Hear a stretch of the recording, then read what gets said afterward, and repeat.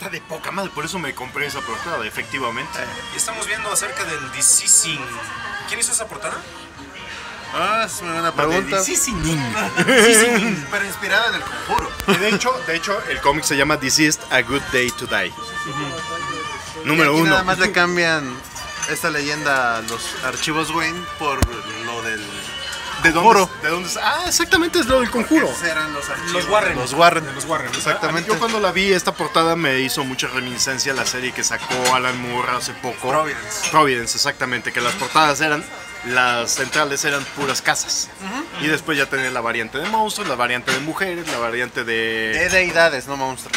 Porque era Dagón, este, Cthulhu, y, No, bueno, ese- todo su panteón. ¿no? Porque había uno de... Había una que era como de monstruos. Es que era personaje de la... El, el personaje central de la serie, efectivamente. Eran cuatro covers, ¿no? ¿Tú cuál te llevaste? Casi todas eran deidades. Tú te llevaste la de deidad, yo me llevé la de casitas. Una o dos todas. tengo casas porque... Ah, ya no me llegó de deidad. Oye, una cosa que estaba chida y rápidamente de, de ese es, eh, te manejaba mucho, ya ves que Alan Moore desde el From Hell te maneja mucho lo de la psicogeografía, ¿no? Que es la onda de que según los lugares como están construidos te pueden inducir como distintas actitudes. Y precisamente acá lo maneja porque también ponía los planos, ¿no? De, de Providence y precisamente conforme se iba desarrollando tú veías, este, ah caray, te estás yendo para este rumbo y tiene cierto tipo de influencia, si estaba en el rollo universitario o bueno, es de donde vienen algunos de los personajes y ya conforme te ibas a la granja y esas partes es donde estaban los como que más crudo el, el entorno, si no me falla la memoria. Sí, y de hecho eso Lovecraft lo maneja desde sus cuentos, a lo mejor no tan explicado, pero los cuentos de, lo- de sus personajes universitarios de la Miskatonic son no tan... Son como más psicológicos en ese aspecto, son más, por ejemplo, el color que se cayó del... No, eh, la sombra fuera del tiempo. Ah, donde el profesor eh, es secuestrado por los extraterrestres, pero le secuestran la mente, cambian el cuerpo y un extraterrestre viene a aprender usando el cuerpo del profesor. Y todo el cuento es el profesor en el mundo extraterrestre, todo lo que él va aprendiendo y cómo enloquece por esto. Y todos sus cuentos, eh, ahora sí como el color fuera del espacio, el que susurra en la oscuridad, son los más, eh, no gore, porque realmente nunca llega a eso Lovecraft, pero sí es donde los monstruos son como más salvajes, por decirlo de una manera.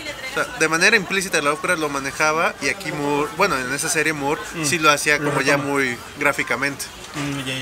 Y bueno, esto surgió porque empezamos a hablar de series de. como la que estamos viendo ahorita, y va precisamente mi carnalito. Ah, bueno, estamos hablando del Deceased eh, y se nos ocurrió hablarles a ustedes, Patreons, de que eh, hay series ahorita se pusieron de moda, que no ha dejado de estar de moda realmente. Walking Dead puso mucho en boga en los cómics, lo que es otra vez el género, ¿no? Como tal. Pero a ver, ¿son zombies aquí? No, pero los zombies pueden ser infecciones, al fin y al cabo. O sea, realmente, acuérdate que siempre es el meollo es, es un virus, es algo que pasa. Eh, Romero nunca se ha preocupado por qué es lo que pasa, ¿no? Realmente es como una bacteria o un... O Sam Raimi, por ejemplo, en, en Evil Dead. en Evil Dead. En ah, la segunda de Romero, donde al final hacen como la broma de Michael Jackson con Thriller, sí medio se explica que es por una contaminación de un gas o algo así del ejército. Porque empieza con una camioneta del ejército que se le cae un, un tambo, se rompe en el cementerio y de ahí surgen los zombies. Nunca Sí, te dicen qué es. y es lo más cercano que ha habido una explicación en es una de un Romero. contagion, quieras que no. O sea, realmente es un contagion. Este es, digamos, es como la rabia que es contagiada por una mordida. Ese, ese es el contexto en de México los... tenemos un chingo de rabia, ¿no? Puta, Y tenemos chingo la de- película 10 días para morir. Bueno, pero es que todo esto en los cómics, ¿cuándo es cuando vuelve a haber el boom por los zombies? Yo creo que empieza con IDW, eh, con 30 Days of Night. Pero son vampiros. Pero, pero, Pero- funciona como una serie de Contagion, de cierta manera. No, y ahorita que mencionabas que The Walking Dead es quien trae a los zombies, curiosamente es creo que el primer medio o más bien la primera vez que los zombies tienen algo de lectura. Porque eso sí eran pura película, a diferencia de otros monstruos. Yo creí que ibas a decir que no sabían leer los zombies, cabrón. Pero, pero Qué digo, bueno que se han vuelto cultos, güey. los vampiros, pues es toda la tradición gótica. Empezó del relato oral a los libros. Los hombres lobo también ha sido puro oral hasta... Sobre todo las lobas, ¿no? Pero ahí hay una, hay una cuestión y es una comparativa que es muy interesante. Perdón que interrumpa, Wookie. Es que para aparecer también en el video, ¿no? Este, el zombie es el monstruo del proletariado, mientras que el vampiro es el monstruo aristócrata. siempre están así súper delineados, ¿no? O sea, es el fino, refinado, oculto, el que te, el, el aspiracional. Y el otro, pues es la perrada, güey. Este, es, es el populus. Es el genérico. está. Exactamente. Sí, porque eh, eh, y es cierto, o sea, no había no había un este no había nada eh, para leer de zombies hasta que llega The Walking Dead como tal. Y eso, Pero, pero eso también es algo porque es, o sea, dime un zombie reconocible. no hay. Esa- eh, dime un vampiro reconocible. Hay, hay muchos. El hombre Desde lobo. Barney hasta ¿Que no era un dinosaurio? no, digo, curiosamente es Barney, luego llega esta Ash. Ash es, yo creo que sí puede ser dentro del género, aunque no es un zombie. es O el sea, caza zombie. Es el cazazombies por excelencia. Ash Bueno, and Devil. eh, Sí, no, pero no son zombies porque es- están infectados por la maldad. por el. Necronomicon, de hecho, Exactamente. Hablando ahorita de... de, de Lovecraft. ¿Qué es lo que vemos, no? O sea, es la fórmula Deceased. Cuando sale, yo lo vi como el Marvel Zombies de, de cierta manera de DC, porque no había predado ese género, DC como tal. Había hecho unos números o algo, o intentos, ¿no? Pero no como eventos. Yo creo que lo más que se acercó fue en su momento Jeff Jones con este Blackest Night. Blackest Night, exactamente. Que fue en el momento que tocan, dicen, nosotros no vamos a caer en el Marvel Zombies en un universo paralelo, lo vamos a hacer dentro del universo y ponemos esa historia y después se olvida mucho. El Deceased retoma y yo cuando lo leí dices, bueno, ¿qué onda, no? Realmente, aparte que las portadas están muy bonitas, se me hace una jalada que luego esta, por ejemplo, que compré, está muy padre, la número 2, pero esta venía a precio normal. Y después DC, vorazmente por el éxito que tuvo la serie, les pone una portada de cartón, o sea, más, más, más fina, y le sube un dólar a todas las demás portadas variantes. Es más barata la portada normal que las portadas variantes. Eso se me hace una mamucada, Y honestamente. aparte las de cartón se maltratan más. Correcto, es correcto. Entonces, por eso y por, y por economía acabé comprando las normales, ¿no? Pero, eh, dices, tú lo ves en el momento y dices, ah, va a ser la clásica serie de zombies. Que, por ejemplo, lo escribe? Eh, es a lo que iba, ¿no? Tom Taylor. Hay, hay dos personas que saben ejercer muy bien el género. Una, el amo de los zombies en los últimos años se llama Robert Kirkman. Robert Kirkman, exactamente, que es Walking Dead. Y en los cuatro o en los poquitos números que escribió para Marvel, logró ser un éxito porque tuvo esa serie exitosa. Tuvo Irredeemable Ant-Man, que era muy cagada, que la hace él en su momento, y no me acuerdo qué otra. Pero en esos cinco números es un boom y es un. Que han surgido como siete series después de esa que ya no pegaron igual, obviamente. que no han pegado igual y ya no fueron escritas por él. Exacto. Creo que la 2 no estoy seguro. Creo que esa todavía, pero no, no creo que nada más la, la primera, ¿eh? Creo que sí, creo, Creo que nada que más. la dos él como que dejó el plot o algo así. Algo así, Porque es cuando no. hay como una pelea y él se va. Es- y se va a hacer varo, no nos hagamos, porque ya trae el proyecto de Porque Walking Dead. Exactamente, que es lo que le deja varo. Pero realmente él es el amo para eso, para los zombies. Pero él se va mucho enfocado a todos los aspectos sociales, a todo el aspecto del entorno de qué pasaría. De hecho, el Marvel Zombies lo hace igual, ¿no? Tiene momentos muy grotescos en el cual aquí la diferencia es que tienen conciencia los zombies. Esa es la diferencia. ¿Tiene conciencia social? Sí, a comparación de Walking Dead, que él mismo no se preda en ese, en ese aspecto, que más bien es la sociedad buscando cómo adaptarse a esta nueva enfermedad o a estas nuevas condiciones sociales. El, Marvel Zombies, los zombies siguen teniendo conciencia y saben, por ejemplo, el más bestial y se ve la inteligencia, por ejemplo, de un Black Panther, que agarra y tiene su itacate, ¿no? Y, va fileteando poco a poco a... ¿Quién es el que filetea? ¿Es a Giant Man? O a no, o es Black Panther el que filetean. Creo que es Pim, ¿no? Pim se está Ah, comiendo Black Pim se Panther. está comiendo Sí. Black Panther por, Ay, goloso. por pedazos. Yo estaba dejando, después les digo que dejó al final. Porque Aplicó la de One You Go Black. Es que para que le rindiera más. Sí. es que era vegano. Pero bueno, este, ¿Esa esa, buena y barata la de Wakanda? La de Wakanda, efectivamente. Pero curiosamente aquí ves el aspecto y da otro giro. DC tiene un éxito porque aquí aplican muy bien y muy inteligente el ¿qué vamos a hacer? No vamos a caer en los zombies, no esto, pero tenemos un agente que siempre ha sido el éxito y que puede funcionar trasladando y empalmando las dos cosas, que es la ecuación antivida. Y eso está muy bien explotado, porque las primeras víctimas, como siempre, es donde ocurre la ecuación antivida. O sea, el primero que salió a la tía de las muchachas es a Cyborg. Cyborg. Cyborg, El exactamente. negro como película de terror. Y después de ahí se lleva a Apocalypse, completito. Y lo cual es muy chido en el, el seasoning que vimos, este, por ejemplo, Big Barda y este... Mr. Miracle. Mr. Miracle. Le dice, oye, ¿qué sientes al ver esto? Alivio. o sea, eh, tienen aspectos muy padres. Y Tom Taylor, aquí lo que aplica no es tanto el género. Aquí aplica su habilidad y esa rara habilidad que tiene de matar gente. O sea, porque es un éxito en ese aspecto. Y por ejemplo, otro de los detalles es, eh, hablamos de infecciones. El primer caso que estamos tratando de hacer memoria antes de grabar era... Eh, eh, no, no sé qué sea eso, pero pásame la penicilina, no. Antes de que se caiga. No, este Contagion de, de Batman, que fue a finales de los 90, este, si no me falla la memoria, es la primera ocasión en la que, bueno, al menos en tiempos recientes, porque seguramente hubo alguna historia de esas en los 70s, 80s, en el cual tienes una infección y ahí también es como afecta en este caso Ciudad Gótica, que recordemos que fue la, pésimo, la peor racha, parecía país tercermundista, donde les cortan los puentes, este, bueno, fue después de esto, tiene terremotos, tsunamis, y también Batman es el peor héroe de, de todo el universo DC porque es el único que cuando llega a una ciudad aumenta la criminalidad y surgen supervillanos, ¿no? Pero bueno, después de de, hecho, eso... Contagion es la que inicia todo el relajo con Exacto. la pobre ciudad porque es Contagion, luego sigue Legacy, luego sigue de Cataclysm. Temblor, Cataclysm, Cataclysm, luego No Man's Land. Exactamente, y después cambiaron de editores, que ya es otro tipo de villanos, ¿no? Pero bueno, después de ese, ¿cuál, cuál surgiría? O sea, si es como que, que la primera donde tenemos, ya hablamos también de los Marvel Zombies, eh, tenemos actualmente con DC, que nuevamente es la misma fórmula, Marvel. Eh, pero esa es cosa ochentera. rara, ¿no? Pero es también- de demonios, ¿no? O sea, Inferno también, pero es una invasión más bien, ¿no?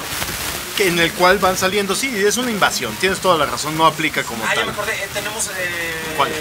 Ahorita tenemos este, la de Marvel de Carnage, en la cual curiosamente están haciendo un recuento de daños, haciendo como que el símil con Black Knight, en el cual todo el mundo tenía simbiontes y ahorita los está recuperando Carnage para tener la mega invasión. Pero también este, hubo una serie en la cual este, fue con Venom, prácticamente todo el mundo tenía su simbionte, todavía le alcanzó a escribir Dan Slott, fue hace como 5 o 6 años, eh, como en la época de Spider Island, si no me falla la memoria.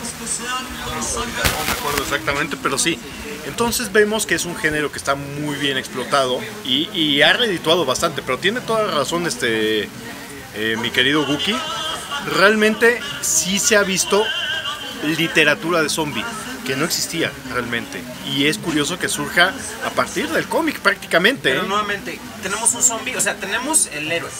Pero la pregunta es para ustedes, ¿tenemos un zombie reconocible? Híjole. Yo creo que sí Así existe. No, mira, te- me vas a aventar la mouse, pero realmente para mí el primer, el primer zombie reconocible se llama Frankenstein. Es un Entonces, zombie. un muer- bueno, es un muerto viviente. Jesús, Pero Jesús no, no apestaba, güey. ¿cómo sabes? No sé. Frankenstein no sí puede- se bañaba, ¿no? Que sea para cada bautizo. en el río Jordán. Exactamente. Frankenstein, Frankenstein Estaba, no güey. puede aplicar de zombie porque él, este, él no te puede convertir en alguien. ¿Cómo no? ¿Hizo a su esposa? Bueno, y hizo que le hicieran a su esposa. Y, pero literal es manufactura. él O no, sea, lo, no, lo contagia. No infecta, no infecta. Se aplicó la de que su esposa está chamando, güey.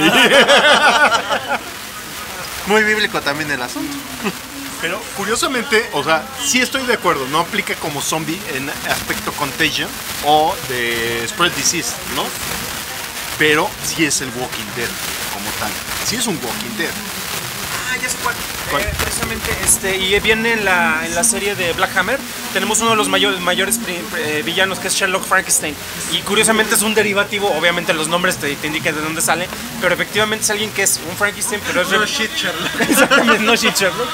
Este, pero efectivamente, curiosamente también trae en la entra en la cuestión de que él no es alguien que esté infectando a otras personas. Dentro de ese se- sentido podríamos decir que Carnage es el primero en, en- tratar de, de esparcir una especie de, de infección a través de los simbiontes. Conscientemente, ¿no? Conscientemente. Pero también nuevamente, por eso no ha habido literatura, porque no te identificas. Lo ves más, por, por eso no hay, no hay películas con un tornado, a menos que sea Sharknado como protagonista, güey. Porque es una catástrofe que te pasa. Existía la de Tornado con esta Helen Hunt. Pero el tornado tenía voz. Pero eran cazatornados, aparte. Es Exacto, distinto, es lo ¿no? Que es lo mismo los pocos libros que hay de zombies como Guerra Mundial Zombie o Cómo sobrevivir al apocalipsis zombie de Es este correcto, Brooks. pero, pero es reciente, ¿eh? Es reciente realmente todo eso. Pero realmente si nos vamos a término contagion, no es tanto propio de los zombies. El contagion es propio de los, de los vampiros. Realmente los vampiros es un contagion lo que haces. O sea, realmente si buscas a quien muerdes, o sea, te, te puedes saber arquetipos derivativos y lo que sea es prácticamente lo mismo. Nada más que una es una especie, me voy a ver muy mamuco y bien chairo, pero uno está destinado a los nobles, ricos, poderosos, que guardan conciencia y siguen siendo inteligentes, y el otro es una enfermedad del pueblo en la cual son una bola de borregos pendejos y que siguen a ver cómo demonios y a joder al que pueden. Se acabó, o sea, así de gacho. Me acabo de acordar, curiosamente tenemos una lectura bien interesante de Edgar Allan Poe, eh, La peste de la máscara roja, que curiosamente, pero nuevamente tienes a los aristócratas, que ahorita es lo que estaba viendo, entre otras cosas, y curiosamente eh, es de cómo protegerte del pueblo, y es también nuevamente una infección. De hecho, la De serie hecho, de Contagion Contagion- es una referencia en, en cómo se empieza Exactamente, a... a las torres. las- mm, Híjole, no me acuerdo. Solo me acuerdo que llega este, el novio de Montoya, antes de que saliera del closet Montoya, es el que llega con la infección. Eh, no, esa era su pareja, Ah, que se vuelve el, el espectro. El espectro, ¿no? Pero fíjate, o sea, te pones analogía de dónde surge todo esto. Realmente son enfermedades animales, quieras que no. Los licántropos funcionan igual. Es una mordida, Pero ahí es una maldición, ¿no? pero No, bueno, la maldición viene de las películas, el mito sí- o la tradición sí era la mordida. Ah, pero de onda Wicca y de... sí, Exactamente. El pentagrama famoso es de la película de ¿Olvido? Chanley, ¿no? ¿No? Es de la de las de Universal. Pero si te das cuenta siempre es, pero la manera en que contagia cualquier enfermedad, cualquier animal, es mediante una mordida un rasguño, quieras que no. Entonces por eso siempre se presta a todo este instinto animal. El que lo ejerce muy bien, o sea, los vampiros por eso se, nos, nos cuesta trabajo identificarlo dentro del género, porque es algo consciente, inteligente y selectivo. Es el de, a este lo voy a matar, a este sí lo voy a convertir Este es- en mi pareja, este esta es- sí se lo ganó. Amigo, no comida, comida, no amigo. Exactamente, Exactamente. exactamente. Entonces, por eso lo derivamos. Los hombres lobo generalmente terminan siendo masas. Hay un cuento buenísimo que no me acuerdo quién lo escribe, que es, no, pero el Wookiee te lo vas a ver, por eso lo estoy diciendo, que es el, el momento, no, deja de decirle que, güey, antes de que me lo enfoques, en el cual este, es una narración de un güey que dice, estoy ante un vampiro, me lo voy a chingar. El, el corazón me late cabroncísimo, eh, no sé qué onda. Va, termina, lo mata y de repente dice, puta, qué difícil es esto en estas guerras que tenemos entre los hombres lobos y los vampiros. Underworld. Entonces, que, que te- técnicamente ese cuento es el replot de ese, de, te digo, de Underworld hace referencia a esa película con eso. Que también Pero realmente es tenemos- las batallas de clanes, pero realmente, y lo reflejan, ¿no? Los vampiros, tanto en Underworld, es la clase alta y la otra es la clase esclava, es el pueblo, como Y lo dijiste, ¿no? La perrada. Exactamente, y curiosamente ahorita que lo mencionas, los, hom- fachada indiana. exactamente, los hombres lobos yo creo que son como que la clase media, porque sí es aspiracional y siempre tienes esos conflictos. En Van Helsing, que a mí me encanta, aunque yo sé que es un churro esa película, este, ¿cómo derrotas a un vampiro? Con un hombre lobo, güey. Siempre son así como que esas luchas. Que se lo fusilan técnicamente del episodio de Los verdaderos cazafantasmas. ¿Cierto? Donde está el pueblito de vampiros y al final vámonos porque entre hombres lobos y vampiros se van a matar. Exactamente. Bueno, este, ya con eso terminamos, a menos que Zico vaya a decir otra cosa y creo que ya no va a decir nada.